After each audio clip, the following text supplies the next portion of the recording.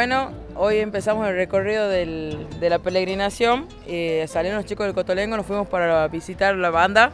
Visitamos dos hogares, Virgen de Santísima Trinidad y Virgen de la Sonrisa. De ahí pasamos por dos colegios, compartieron los chicos, mostraron un poco lo que es la vivencia de cada hogar ahí. Desde la banda vinimos por Alderete, recorrimos el parque, fue ahí acompañado de la policía, de la patrulla, todo viendo caminos para llegar a la casa histórica, donde nos acompañó Defensa Civil.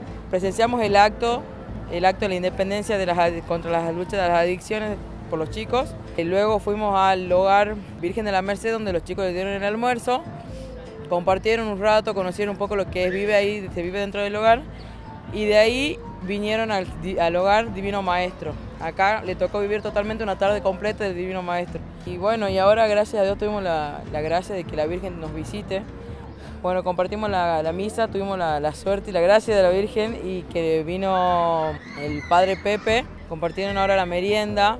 Eh, bueno, fue una, tarde muy linda, llena de bendiciones donde creo que ah, poco a poco fuimos cumpliendo los horarios que muchos nos llevaban juego en contra, pero todo se fue acomodando. De ahí más todos los chicos disfrutaron y vivimos al máximo lo que es la vivencia del hogar de Cristo.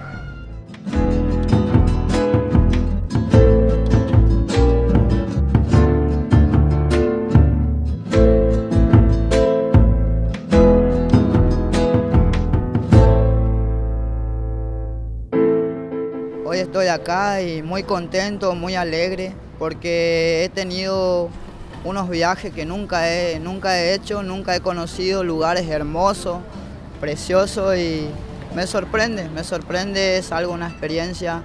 Otra cosa que, le agradezco a Dios porque yo, yo veo que se puede compartir sanamente, cosa que, que no, me, no podía compartir con nadie.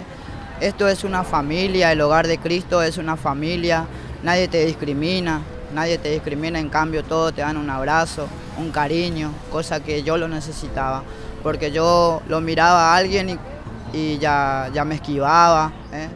me discriminaba por tener un tatuaje, ¿eh? por andar todo sucio, me discriminaban, en cambio ellos me levantaron todo sucio, me levantaron a mí, al colectivo, me trajeron al colectivo todo sucio.